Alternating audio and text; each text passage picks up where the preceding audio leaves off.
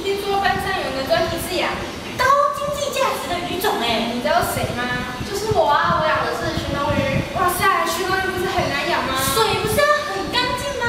你们一定养在池子哦。不不不，鲟龙鱼需要每天大量的换水，所以我们想试试看，养在水族箱里面能不能寻找省水的方法。省水就是省钱啊！啊，水族缸，你能挑战成功吗？我不相信，我也不相信。走吧，我带你们去看。好啊，好走。大家好，这里是我们养鲟龙鱼的实验室。我们将实验分成三个处理组。第一个是废食处理组，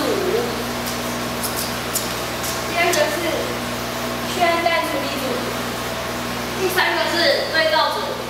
换水处理组，也就是对照组。一、饲养方式：每天使用虹吸管吸排泄物及残饵，换四分之一的水，按照体重比例计算投饵量，于每日四点投喂，约进行三十分钟。废食处理组：一、饲养方式：按照体重比例计算投饵量，于每日四点投喂，约进行三十分钟。二、当水质恶化时，加入一百克废石，以观察其对水质改善的效果。去氨氮处理组：一、饲养方式：按照体重比例计算投饵量，于每日四点投喂，约进行三十分钟。二、当水质恶化时，每公升加入七毫克去氨氮药剂，观察其对水质恶化改善的作用。每天测量各处理组之水质，并观察鱼之活动。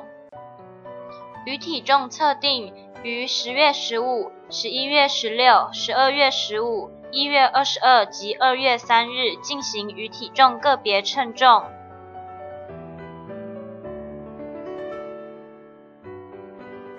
此图片为鲟龙鱼养殖各处理组 pH 值平均之比较。我们可以发现，换水处理组 pH 值平均较稳定，其次为沸石处理组，而去氨氮处理组 pH 值平均偏低。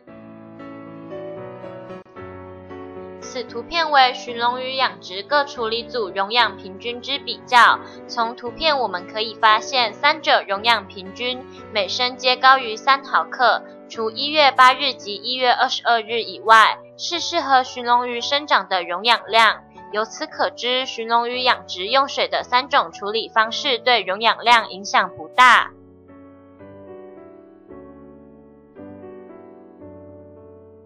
此图片为鲟龙鱼养殖各处理组氨氮含量变化之比较。从图片我们可以发现，第六十四天后，废石处理组有明显变化。氨氮含量每升高达一点零八毫克，剩额逐渐上升，已经不符合鲟龙鱼养殖需求。去氨氮处理组则维持至第七十天才逐渐上升，而换水组维持每升一点零二五毫克。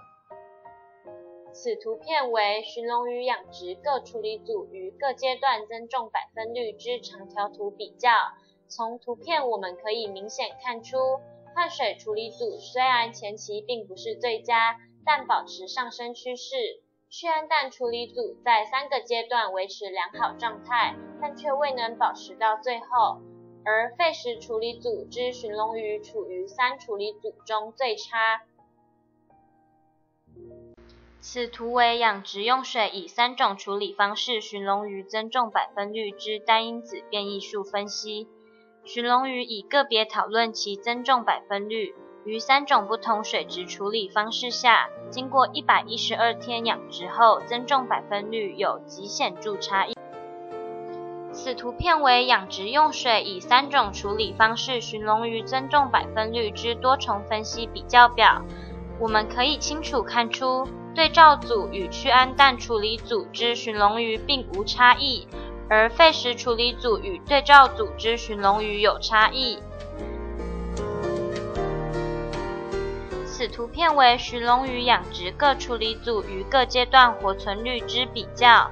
从图片可知道，对照组寻龙鱼的活存率远远比另两组还要高，且维持百分之百。其次是去氨氮处理组，而去氨氮处理组寻龙鱼的活存率百分之百，亦可维持两个月。反观废食处理组寻龙鱼的活存率却每况愈下。由本专题结果可以确定，每日换水是鲟龙鱼养殖最好的方式，但也可采用去氨氮作为处理方式，约每隔六十天进行换水，这样总用水量仅为流水式养殖之一百五十分之一，能省去庞大的水资源成本，也一样能维持很好的养殖成果。养殖鲟龙鱼的经验，加上一百一十二天的实验，再加上可靠的实验数据，我们发现。